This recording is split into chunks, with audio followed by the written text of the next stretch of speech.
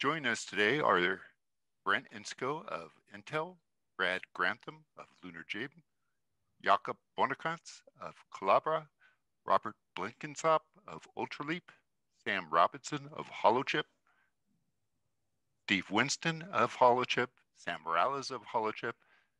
And with that, I'll turn the helm over to Brent Insko and we'll get started. Brent? Thanks, Jeff. And thanks to all of you for joining us for OpenXR's first webinar. As Jeff mentioned, my name is Brent Insko, and I'm the OpenXR Working Group Chair and Lead XR Architect at Intel. Today, I'll talk about what OpenXR is, the problems we're trying to solve with it, and the latest developments with OpenXR. What is OpenXR? OpenXR is a royalty-free open standard providing high-performance access to AR and VR platforms and devices. Throughout this talk, we will refer to these platforms that support either AR or VR or both as XR platforms. OpenXR handles communication to and from an application and an XR platform or device.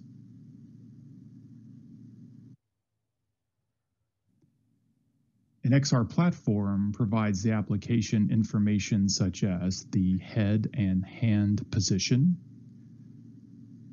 information about the controller or input state, such as whether a button has been pressed or released. Also, display configuration and form factor information, such as whether there is a single display or multiple displays.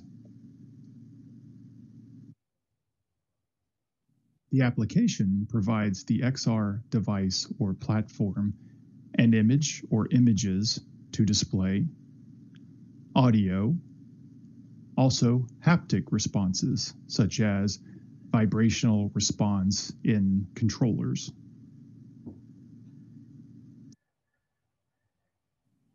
So what problems are we trying to solve with OpenXR? Consider just a few of the XR platforms available.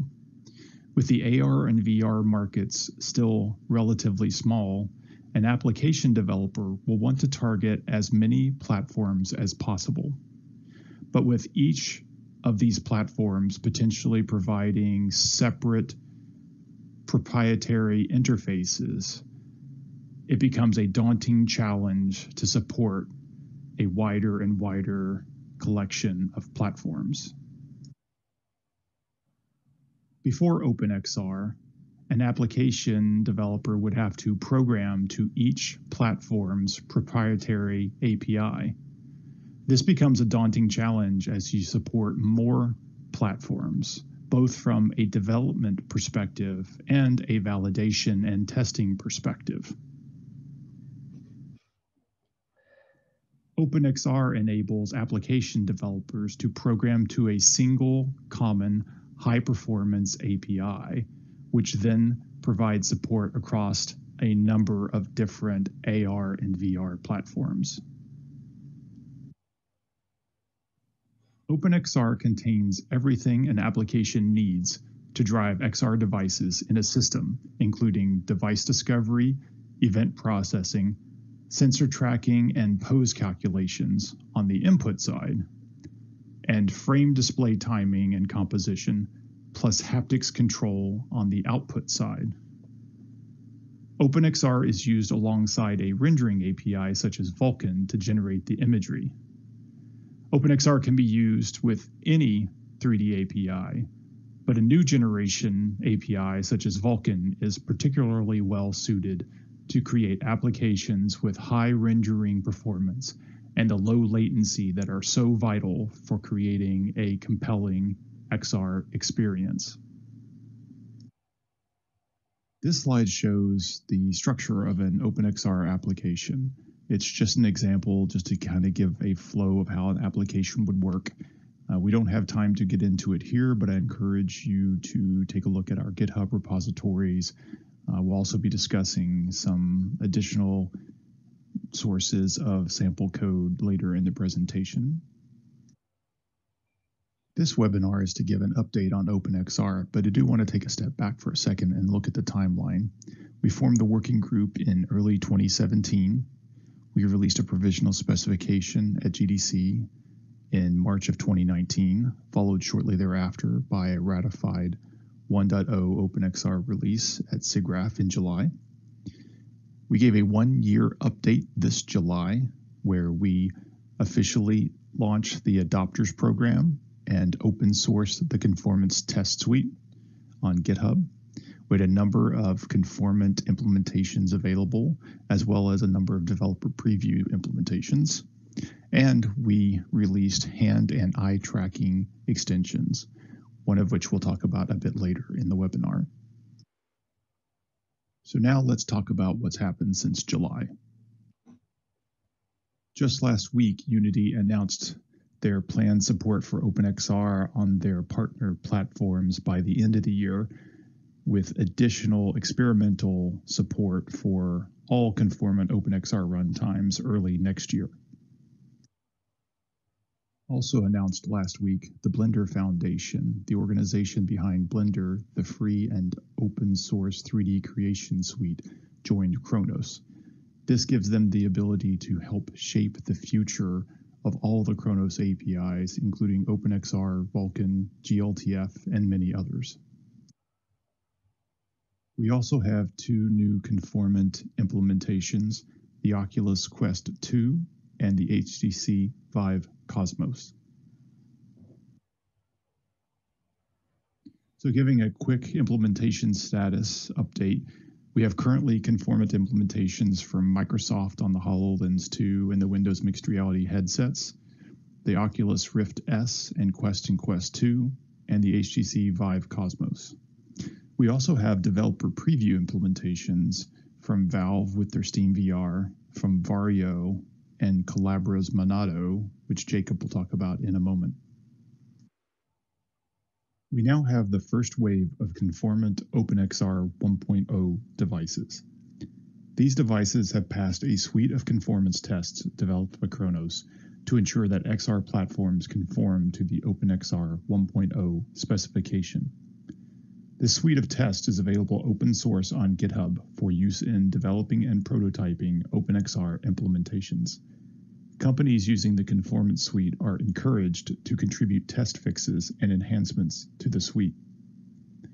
In order to publicly state OpenXR support, use the OpenXR logo and gain the patent protection under the Khronos IP framework. Companies developing XR platforms must become an OpenXR adopter and submit their Conformance Suite test results to the OpenXR working group. Once an official adopter and the test results are approved, Khronos grants trademark and patent licenses. It's important to note that application developers are free to use the OpenXR API and its logo.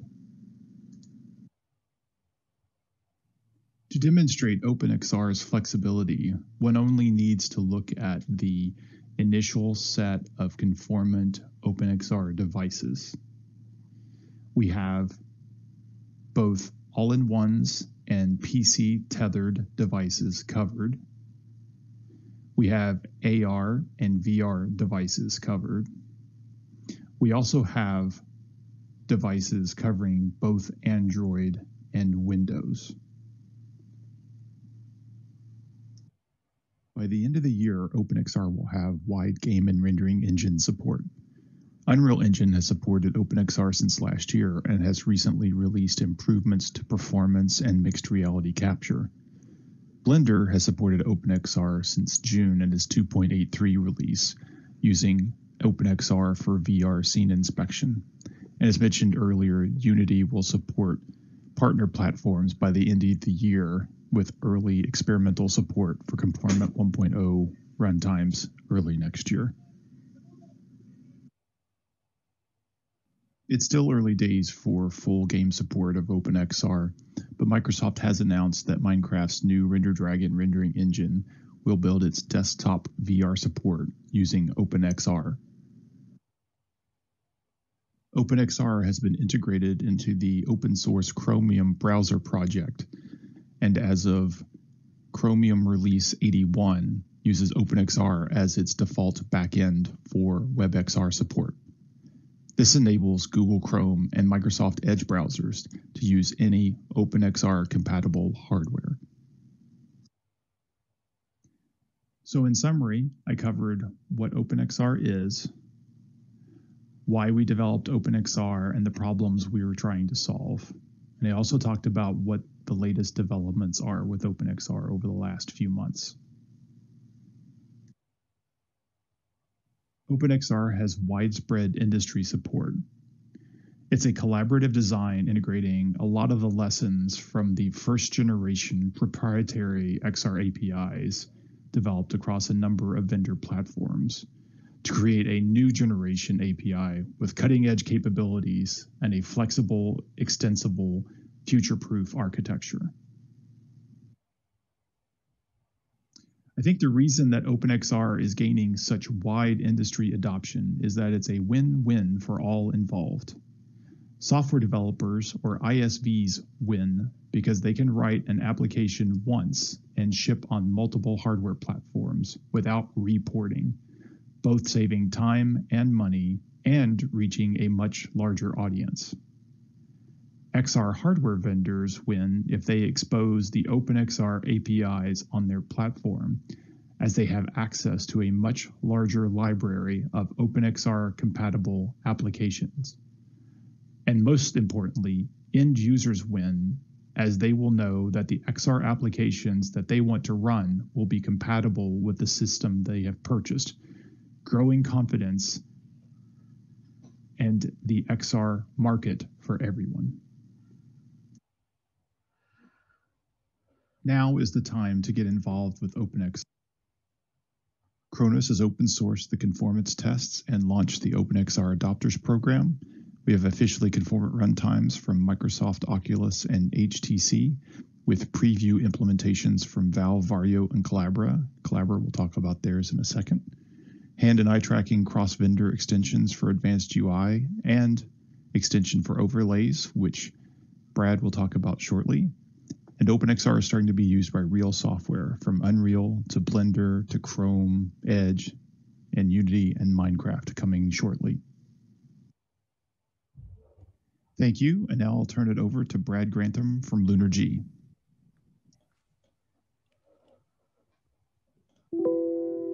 take a second to bring up the slides. Oh. Thanks, Brent. Um, like you said, my name is Brad and I work for LunarG. Um, we uh, are responsible partially for the initial implementation of the OpenXR loader and the validation layers. And another claim to fame for LunarG is the Vulkan SDK. But I'm here to talk to you about overlays. um, and by overlays, what I mean is uh, content provided by an additional program that's overlaid on top of the main VR application that you're running. Um, existing XR APIs already support this notion. Uh, one example is iVR overlay in uh, SteamVR.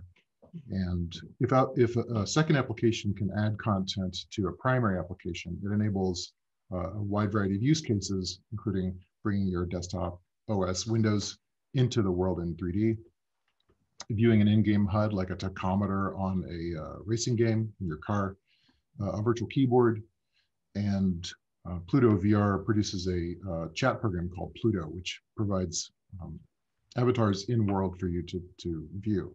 Uh, next slide, please. And here's an example of Pluto, the, the 3D chat program. On the left hand, you can see a, a 3D avatar this is a um, the the entry room in a headset, and on top of that, the Pluto app is overlaying its content, which includes this avatar and also its menu, which you can see here. On the right side is a video stream from an iPad, including depth, which is overlaid on a uh, which is overlaid on another application. And a key thing here is that these applications, the the um, Entry Room and this Spacelight app don't know anything about Pluto. Uh, Pluto is adding its content separately. Next slide. Thank you. So to bring this capability to OpenXR, the working group introduced the overlay experimental extension to OpenXR 1.08. This is already supported by Collabora's uh, Monado runtime on Linux, and uh, I'll tell you more about other possibilities for Windows and subsequent slides. Um, what this means is it's an experimental overlay uh, extension. That's what the X means in X2X. And we're providing this extension to prove the concept and work through issues that we discover as we implement this. Uh, we encourage feedback. Some things that need refinement include security, access control, and input focus. And we hope that when those issues are resolved and we get a pretty good consensus that open XR runtimes in the future will incorporate a refinement of this extension. So uh, for Windows and Direct 3D at this time, LunarG under sponsorship from Pluto VR are producing an open source implementation of an API layer that provides this extension, as well as a sample test app that can be run with unmodified OpenXR apps. If you've looked in the SDK for OpenXR, you may have seen a program called Hello XR, which is kind of the OpenXR version of the traditional Hello World program. And using this API layer, you can run Hello XR unmodified with this layer loaded and then a separate sample program loaded and it inserts its content over top of Hello XR. This is all programmer art to be sure, but it shows the capability of the system. So at, at this time, the layer only supports uh, Windows Indirect 3D, but other graphics APIs are in the works. And we're going to be going forward trying to show the layer more sunlight, get it hardened, more uh, reliable and robust, and also package it for deployment with apps so we can start seeing it in the field and uh, get more feedback. So this is a little bit of a technical diagram and I'll try and go over the, the, the top level of it.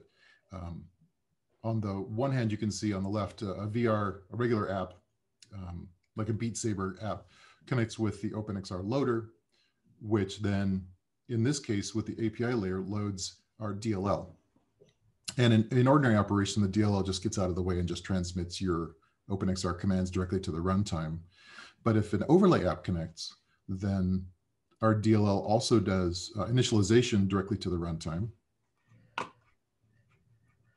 And once overlay XR sessions are created, the API layer communicates all of that state back to the main app where its commands are interleaved with the main app's commands.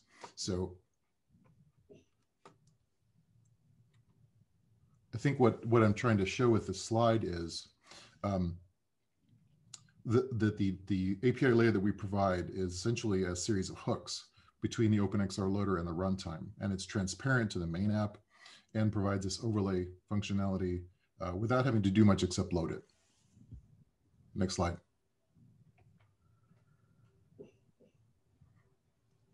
So here's a quick snapshot.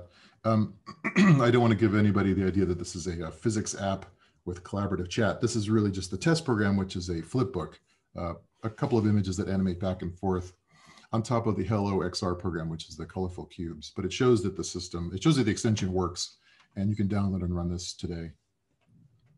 Next slide, please. It's available on GitHub. You can download and build it now. I recommend uh, if you're an advanced user, giving it a try. Um, if you're interested in overlay apps, provide and developing apps that add content to other primary apps. Uh, if you try it, please report any bugs or issues to us. And if you have any questions, drop us an email and let us know what you found. Again, thanks to Pluto VR for sponsoring the work. And now I'm going to hand it over to Jakob from Collabora. Hello, uh, my name is Jacob Bornecrantz. Uh, I'm XR Tech Lead at uh, Collabora. Uh, Collabora is a open source consultancy firm, uh, and we do mostly embedded stuff, uh, or um, pretty much only Linuxy things, uh, but also some Android stuff. Um, so, and also my contacts there. Please, next slide. Um, so, just a little quick overview of, of what Monado is. Uh, it's an open XR runtime it's the thing that basically sits between the application and the hardware. Uh, so drivers and all sorts of things like that. Uh, it is fully open source, uh, so anybody can take it, build it, modify it, and in a way, it's a, and has a really permissive license.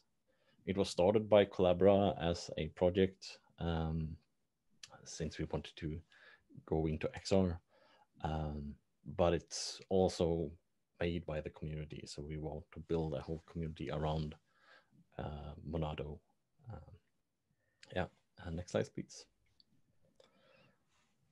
So this is just some quick links uh, to Monado if you want to try it out and download it. It currently only supports Linux um, or and uh, some very experimental support for Android, but yeah, uh, just feel free to look at those uh, links uh, when you have some more time. Next slide, please. So I will uh, be talking a little bit about these topics like passing conformance and some notes about overlays and our Android support. Uh, next slide, please. Um, so we are currently fully passing conformance uh, using a simulated device. Um, yeah, uh, we we haven't submitted the conformance uh, the conf conformance results uh, because the you are kind of expected to do that uh, on a device and or sort of have a whole product and collaborate as a software firm. We're not really a hardware firm so we don't really sell our own hardware. So we sort of uh, skip we haven't done that just because of that. So but if you you know if anybody wants to make a product based on that that wants to have a, uh, a conformant OpenXR implementation on there they can use monado either working with us or doing it themselves uh, in order to get that. So um, yeah, uh, yeah. So um, open and sorry, Monado supports the uh, overlay extension that uh, Brad talked about. Uh, it is native inside of Monado, so that is just something that Monado does by itself. Uh, we don't, you don't need extra application, an extra layer to be inserted. Uh, so any application that is running on um, Monado uh, can use that functionality if they want to. Uh, it's also on by default. So yeah, it's just there. Uh, yeah. Next slide, please. So I will show a quick little demo. Again, warning programming art. Uh, so this is the Hello XR application running first. And then I'm running my own application on top of that. Uh, and layers and even another applica application. And then I'm shutting down two of them applications. And that's basically it. Just, just a very quick demo to show that, you know, we can stack multiple applications on top of each other. And uh, yeah, next slide, please. Uh, so the, the big news today is that Monado has uh, Android support we were hoping to have it upstream uh, today, but we didn't quite make it. So we're hoping sometime next week to actually merge all the patches that needed. So you can download Monado, um, load it up in, grade, uh, in Android Studio and build an APK that will install uh, Monado into it.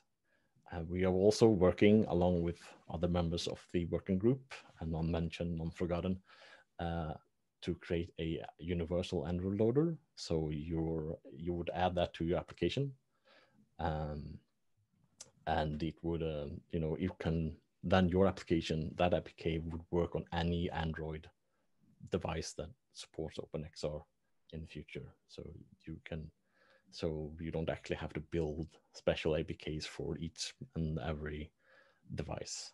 Um, we are starting with cardboard, yes, because that's every, basically everybody has it. Um, so you can sort of try it out. Uh, and again, we don't have our own devices at first, so uh, we're just making sure that it works on Android uh, and having you know, some default uh, drivers for cardboard or even Daydream sometime in the future. Uh, next slide, please.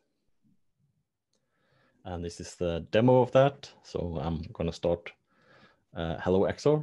Uh, and this is running on the device that I'm, but I'm using screen copy to show it. So little Hello XR.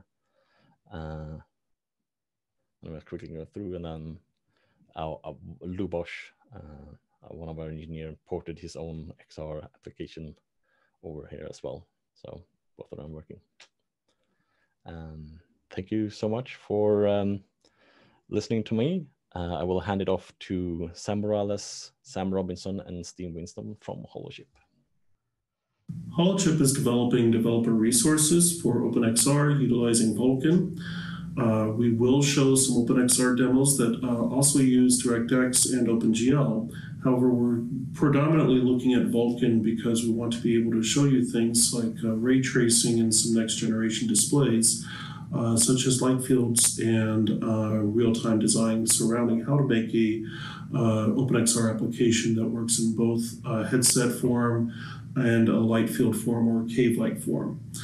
Um, we expect the audience here to be basically people who are uh, interested in learning about how to use OpenXR. And uh, we um, will expect you to have already set up a, a uh, working OpenXR runtime to follow along with these demos um, and to uh, be able to uh, see how things are going. So with that said, let's get to it. We started out with one of Sascha Williams' Vulkan demos and we looked what, what it would take to uh, add OpenXR to it and make it work uh, specifically for either OpenXR or Vulkan. Um, so GLFW is used in place of the uh, windowing uh, code that uh, Sascha Williams has in his demos in order to handle a much higher level of windowing code. We're just going to abstract that away.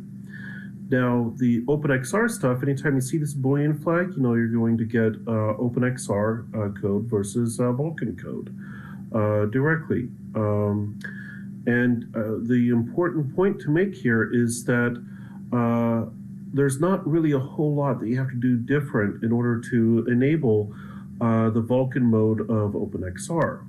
There is one catch, though, however. Um, that's this legacy OpenXR flag here.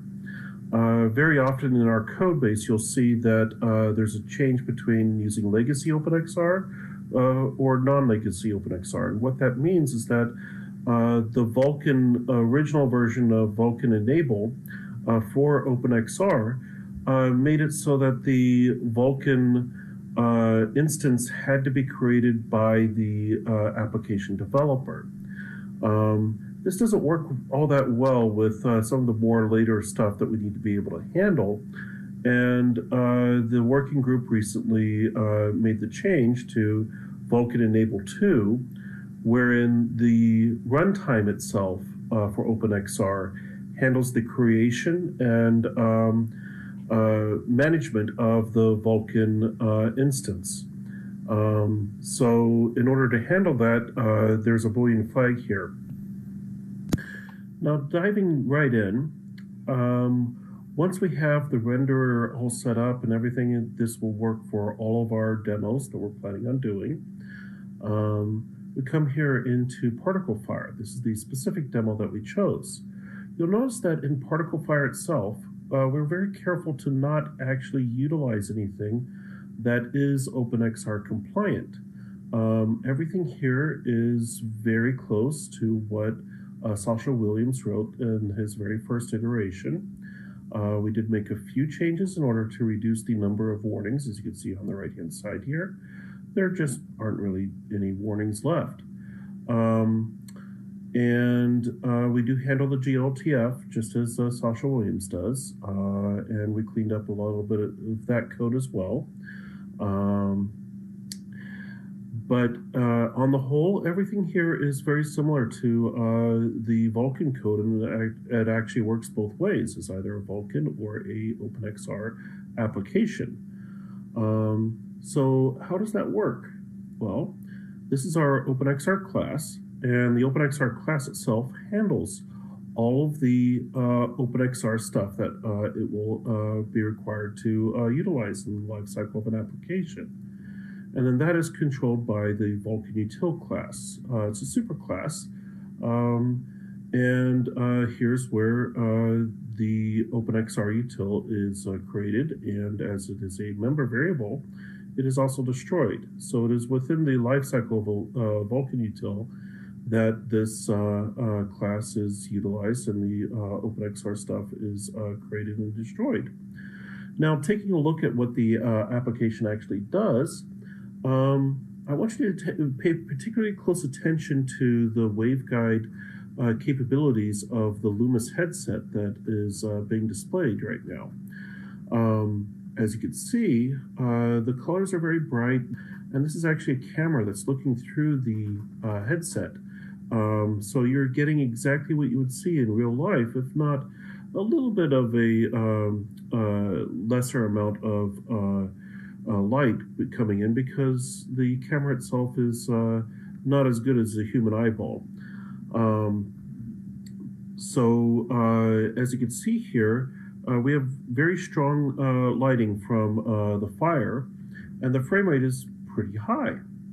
Uh, if we come back to the uh, OpenXR application, let's see what happens when we run the exact same thing with Vulkan enabled instead of OpenXR.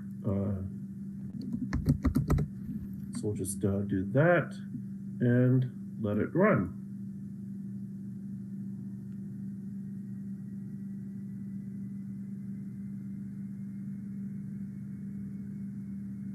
there you go.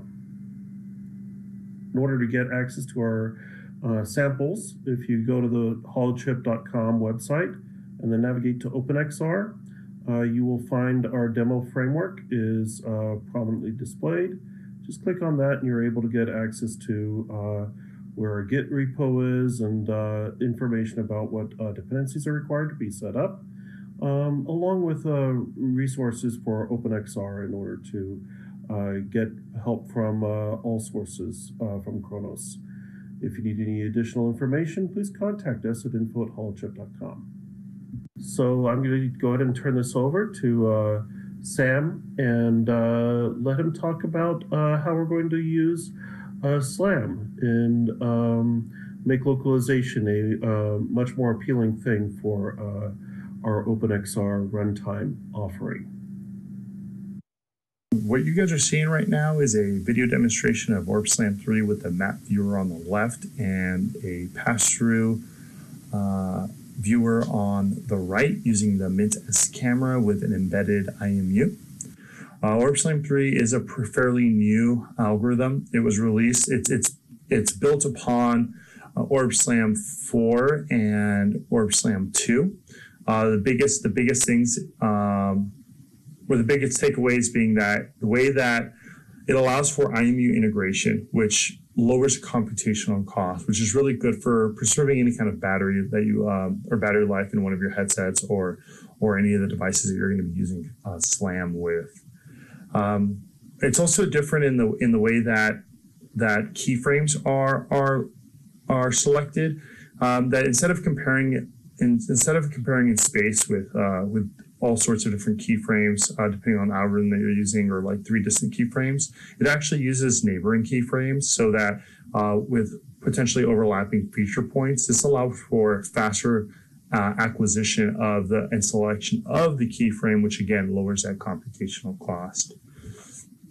Uh, when when this is again this is a very basic uh, implementation of it. Um, the the biggest issues that I had was actually the calibration uh, with the YAML file. Uh, it's it, it is since it is tightly coupled with the IMUs. Um, any kind of error or deviation in the in the YAML file or the calibration will result in in not being able to track correctly or uh, distortion issues, things along those lines. So that is one of the big things that that um, that we that we've been trying to correct uh, uh, with this with this implementation. Um, uh, one real, really neat feature that that that occurred during this was when we did like kind of like a non-controlled drift test where we we just kind of stood still and kind of moved the laptop and camera around. We noticed that that there was there was not very much drift at all, which is really good and obviously something that we want to we want to go for. Um, uh, in the future development, um, we want to we want to eliminate. We obviously we want to try to eliminate as much as much drift as as possible. Um, as well as as uh, establishing a little bit uh, or establishing a, a, better protocol for the calibration so that that way it doesn't um, uh, have tracking issues, which you kind of see that it has right there. You saw the path that I took, and then now you can see the actual map. Um, that was some errors that I had with the with the actual uh, IMU calibration uh, and synchronization. Um, we are going to be using. Uh, we think we're going to be using this uh, Orb Slam three as our as our SLAM algorithm. Obviously, uh, when we when uh, in our in our HoloChip runtime, um, it'll be a more fully tested, robust, and polished version of, of what's going on right now, um, and that is that is currently in the works. All right, now I'm passing over to Sam Robinson to talk about HoloChip's developer resources and services. The resources will cover the basics of setting up an OpenXR development environment, including the OpenXR SDK, runtime, device driver, and sample application. It'll also cover modifying runtime functionality, such as the SLAM implementation and creating OpenXR extensions.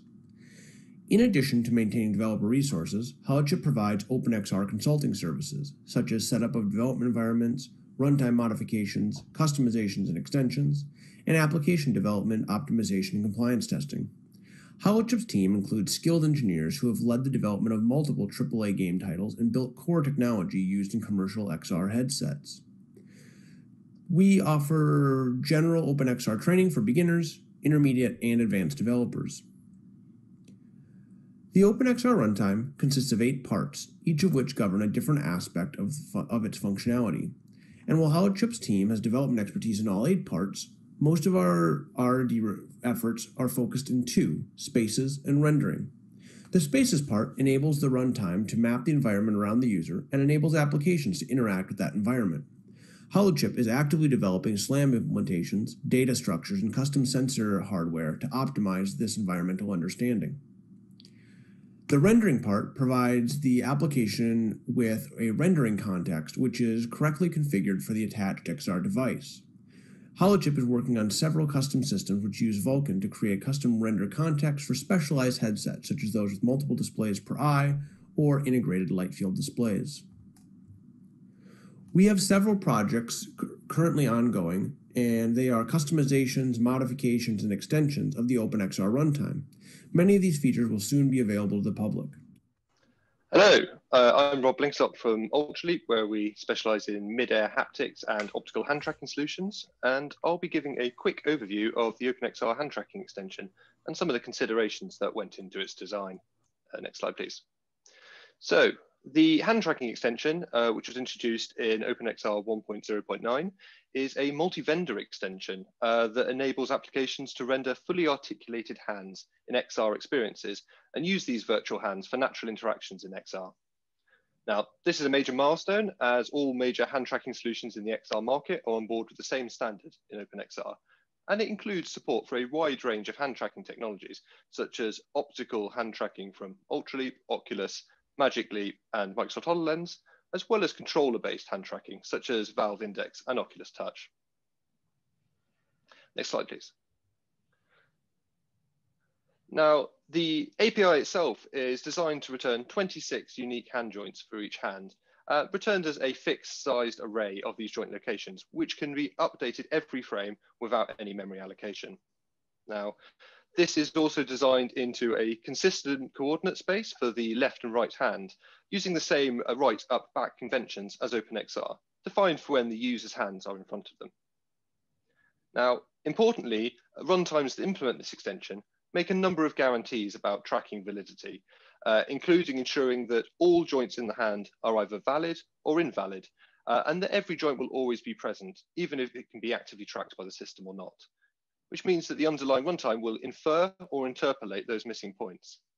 Now, this is really important as it means that apps don't have to have their own logic for dealing with missing tracking data in scenarios where part of the hand is occluded uh, and can always be designed to assume that if a hand's tracked, it will have the complete picture. Thank you. Um, so the video here, the user can raise their hands and you can see that they're actively tracked by the system as he performs a number of different poses and gestures. They can also reach out and naturally interact with objects in the scene uh, as they would with their real hands. Now we'll enable some joint visualization quickly. And you can see that each of the individual joints of the hand are being actively tracked but all at the same time, even when the hands start to occlude each other and the tracking system may not be able to see the other points as they're inferred by the runtime.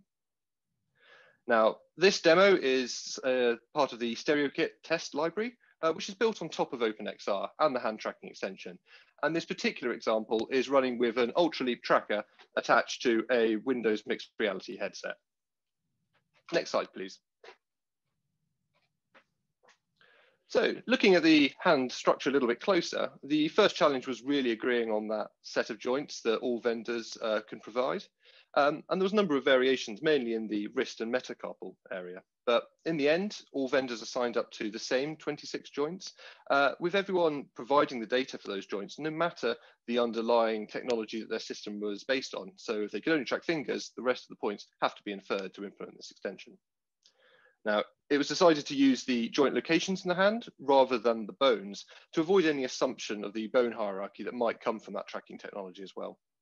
Now, the names for each of the fingers were carefully chosen to be culturally neutral with the thumb, index, middle, ring, and little, and using the medical names for bones, so the tip, distal, intermediate, proximal, and metacarpal, along with a palm and wrist joint. And for each of these, we can retrieve the radius for visualizing the hand without a 3D rigged model and optional velocity data. And the group agreed that any other joints could be exposed with additional extensions down the line, such as our forearms. Next slide, please. Thank you. Uh, moving on to look at both hands, there was lots of different conventions in coordinate spaces. Um, we considered using the standard T-pose, which is used for human body model rigging, but this has a mirrored coordinate space between the left and right hand, which means that logic would need to be aware of which hand it was operating on um, and in terms of doing transforms and meant that code cannot be completely hand agnostic. So in the end, we selected a consistent space for both hands using the right, up, back convention when the hands are in front of you. And each joint orientation is aligned to the bone that it is named after, with the tip and uh, distal bone being parallel to one another. uh, the third challenge was um, looking at the calling pattern to use to retrieve the joints. Now, the working group looked at some of the existing patterns in OpenXR, such as the XR locate space function, which is used for reference spaces, and the action binding system family of functions. Then um, we decided, however, that that wasn't optimal uh, or were overly complex for retrieving hand data. Um, and so instead we opted for a single XR locate hand joints function, which allows all joints to be retrieved at the same time, which is the most common scenario with hand rigging and avoids maintaining large amounts of handles to separate joints that have to be queried independently. Next slide, thank you. Not everything that is possible uh, is addressed in this first release. Um, we're looking at options to extend with the ability to track different joints, either in this extension or optional extra extensions. Uh, hand meshing is quite an important consideration, especially when you look at the AR space when you want your real hand to visually occlude your virtual scene. Uh, and Microsoft has a vendor-specific extension which already demonstrates this on HoloLens. Also interest in looking at high-level hand inputs such as key hand shape recognition or key poses and gestures, as well as a standardized way of determining measures like finger curl for applications. There's also interest in looking at the controller simulated hand tracking systems, such as controllers being able to report what poses they're capable of producing if they can't accurately track the hand in real time. Next slide, please. Um, but in summary, the hand tracking extension is, is there, it's published, and it can be used today. Um, there's much more information that can be found in the OpenXR specification on khronos.org. Um, and if you're looking for samples, the Microsoft OpenXR mixed reality samples and the StereoKit repositories are both available on GitHub and both utilize the hand tracking extension.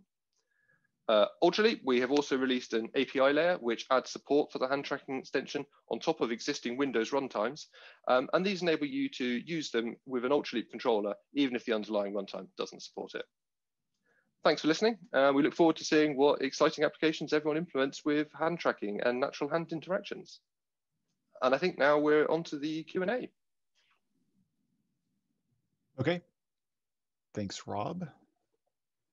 So I will do my best to moderate the Q&A. Thanks to all the panelists for the presentations. That was great. Uh, I would encourage the attendees to submit your questions to the uh, using the Q&A feature of Zoom, and we'll try to get to all of them in the next uh, 15 minutes or so.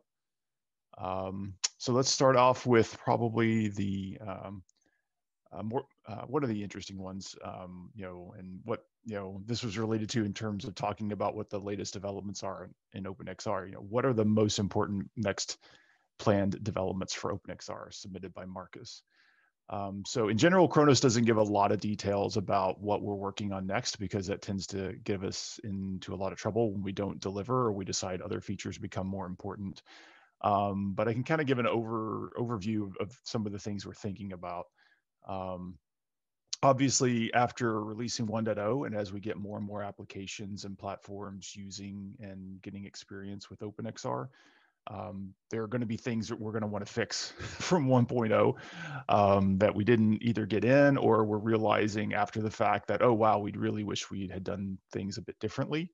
Um, there's some things around frame timing um, that we're looking at uh, trying to make it easier for developers to do um, correctly using OpenXR so there may be some things there um, uh, overlays, which Brad talked about, uh, is also a high, highly rated one. Currently, it's an experimental extension. We'd like to see that uh, get across more platforms, more devices, get more experience with it, and and pull it closer.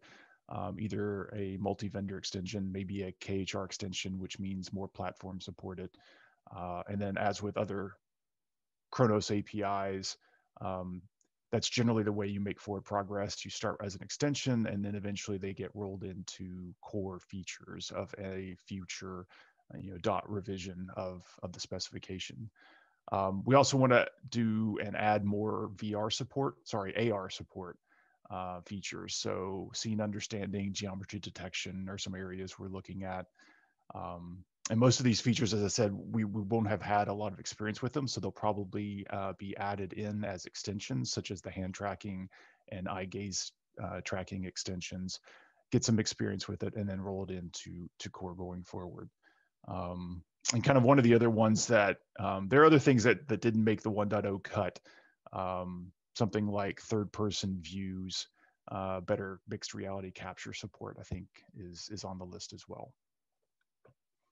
I also see we have uh, several questions around caves. So are there plans to support non-HMD VR systems such as large multi-display systems um, in caves in the near future? So Steve, I think uh, you have some experience in this area. You want to, start that question, then we can give Jakob and some others a chance to answer. Sure. So uh, we are working on um, everything from uh, tabletop uh, light fields to full cave uh, uh, and enclosure style systems. Um, so yes, there's there's definitely work around this, um, but it's not available yet. These are one of the things we are working on.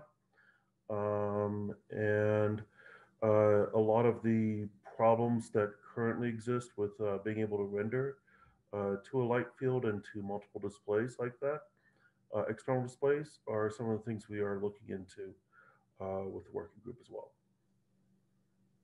And Jakob, do you yeah. want to go ahead? Yeah, yeah, they're, they're, we're definitely interested in it, and like we're all, uh, at least me and Steve are definitely cave fanboys, uh, so we're very much uh, into that. And there's also like other uses that are not just headsets. Um, the problem is you also need to be able to communicate. You not also need to have specialized content for it, not just in rendering, but also in how you interact with them. Um, so how you interact with a light field space can be quite different from how you interact with a normal one. So those are things that we need to think about as well. So it isn't just render more views; it's a whole bunch of other stuff as well. Yeah, there. I would say that that cave systems, and we we had this. If you've seen early presentations on OpenXR, is definitely a, a feature that we, we were considering. It's just for 1.0, we had to cut some things, and and for efficiency's sake, uh, things get cut. Um, so, but yeah, it's definitely on on the list of things to be considered and, and expand support beyond just uh, either single screen phone type form factors or uh, left and right eye, you know, head-borne displays. So let's uh, talk about. Um, there's a question about the device layer plugin interface. So I'll start uh, a bit of an answer and then give uh, Rob a chance to to talk about Ultraleap's experience. So as many of you know, if you've, you've tracked OpenXR for a while, you know, there were two parts. There was the application layer interface and the device plugin layer where it would allow other devices to plug into um, another company's runtime. So as as we developed OpenXR 1.0 um, and got more experience with what we would want to to be able to control from a vendor perspective, um, you know, one of the major things we wanted to enable was input device uh, additions and making it simpler to have you know a variety of different input controllers.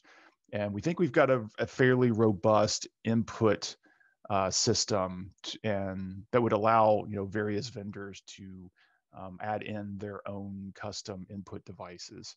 Um, and then we we feel like most everything else the platform would really want to to control to enable um, better performance and and better um, uh, just user experience.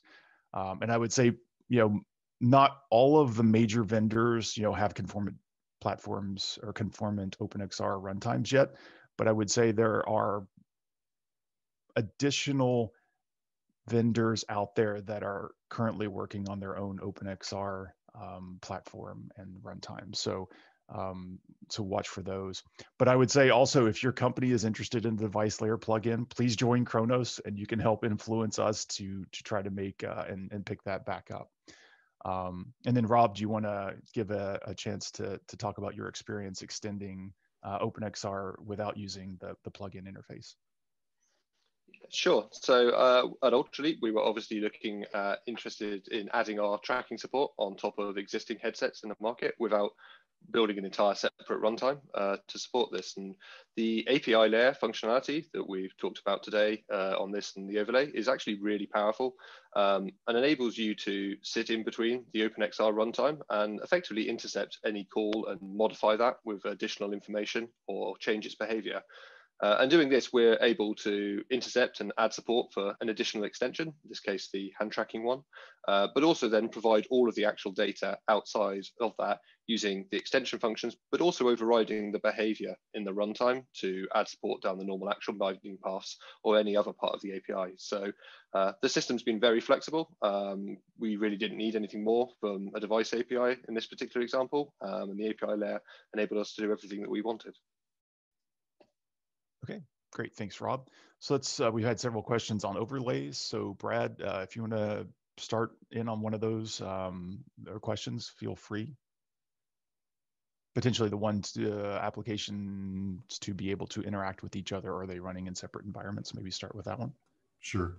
Um, and I think uh, that this has two meanings for me. One is, um, can they interact programmatically? Can they send messages to each other? Um, I think that's probably not what this question meant, but um, you you there's no current uh, API in OpenXR for applications to communicate with each other, um, but that's something we can look into. Um, another meaning for this question is: uh, Are they able to interact in 3D? Can they get lighting information? Can they get geometry information? And again, I don't think that we currently have any API in OpenXR for that, but it's something that we've discussed. Um, lighting in particular, and being able to communicate back and forth, uh, whether input is secure or not. Those kinds of things are, are on the table. Okay. Um, and yeah. uh, I was just going to say, uh, let's jump to the depth compositing one with overlays um, from Nova. And Jakob, did you want to start with that? And then Brad can do uh, a follow up. Sure. Yeah, we are definitely looking into that. Um, it's it's one of the things that's kind of hard to also conformance test because you have to actually look at it uh, and also what does depth mean for say cube maps or uh, quad layers or things like that so um, yeah and we'll yeah so just getting everything semantically correct across all vendors that would implement it and if all vendors actually can implement it um, is, is the problem there. But yeah, we will, we will definitely want to do that. And even for layers that the application has submitted just for itself, we also want to. Uh, yeah. Okay. And then Brad, you want to follow up on the depth compositing? Um, as quickly as I can say, the OpenXR specification says that compositing of these layers is, for anyone who hasn't read it in detail, is essentially just back to front. Um, and so that's what the question comes out of. Uh, overlays are the same, so you don't really get uh, depth like objects interpenetrating, um, uh, which is really great for visual cues. That's what you want. So um, yeah, we've we've discussed this at, at length. Yeah, uh, and to also a bit about interaction with each other. Um, just being that's something that might come with once we start adding interactions with the world in general. Uh, so either you would have a VR application that's pretending to be the real world and send information up to the other application, that only application that is actually an AR application, uh, or yeah, they can get information uh, via that way uh, between each other. So that that's but that's definitely something further out than just simple depth depth uh, comparison because that's something we we know how to do. Um, but like yeah, the other stuff is a lot of thinking needs to be done to uh, be yeah good. Okay, thanks, Jakob. Um, let's see another question um, does or how how are user data privacy concerns handled is that above this level so we have had discussions about uh, privacy and security um, we do work with protected content and and and making sure that that that works but um, beyond that the the varied ways the platforms that OpenXR is trying to span and how those platforms handle privacy and enabling you know microphone, the camera, eye tracking, etc. is is a really daunting challenge. And at least at this point, we're we're letting each of the platforms uh, kind of handle it themselves, but we are looking at you know how do you enable permissions and and and things to things like overlays to allow multiple applications to talk to each other and what data can you pass back and forth. Um, yeah, ahead, it's it's also hard because the only tool we uh, OpenXR has to enforce anything is via the API, and you can you know, you can have a function, don't leak my user data, but the application can just say, I don't do it and then do it anyway. So there's nothing we can really test uh, in that way. Uh, so yeah, it, it's hard that way. Yep. Uh, another question on WebXR support being available in Chrome and Edge. Does WebXR have the same feature set as OpenXR? Are there any WebXR demos using the latest API publicly available? So I, I don't know all of the details around WebXR. I do know that we have several members of OpenXR that are also on the WebXR uh, committee in the W3C. Uh, and we are trying to stay very closely aligned. I believe we also have an, a li liaison agreement between Khronos and the W3C to make sure we're staying very closely aligned. So as things get developed in one API or the other, um, we are making sure that that support is in the other uh, API as well. So that you're bringing all of the ability of doing um, AR and VR natively on your device or platform. We're trying to, to make sure that WebXR can deliver that via the web and in browsers as well. Anyone else want to, to add to that? I don't think we have our WebXR guys on currently, but Okay, uh, and then the other question, uh, guidance for correct usage of overlay. Brad, do you want to take this one? Does headlocked content cause nausea? Um, I don't think we have a lot of uh, guidance um, for, for correct usage in terms of uh, nausea, in terms of the user experience of, of um, whether it's moving correctly in the scene. Um, my experience has been that um, a headlocked content, as long as you have a lot of other scenery that gives you um, a reference, is not a big deal. Um, I, I, do want to point out that that overlay in the use that's uh, in this question is just like a 2D rect that's stuck wherever your head turns. It moves with you, but um, the term that we use in the extension is pretty much any layer. So it could be in the world, it could be headlocked, um, it's pretty much up up to the application, like how they position it and what it's what reference space it's in. Um, so uh, that's a really good question. Um, my background is not really in user experience for motion. So if anyone else has an idea about that, they can pipe up. Um, yeah, in general, OpenXR is more aimed towards what the runtimes have to do, and you know, imposing a strict conformance to behavior so that all application works the same.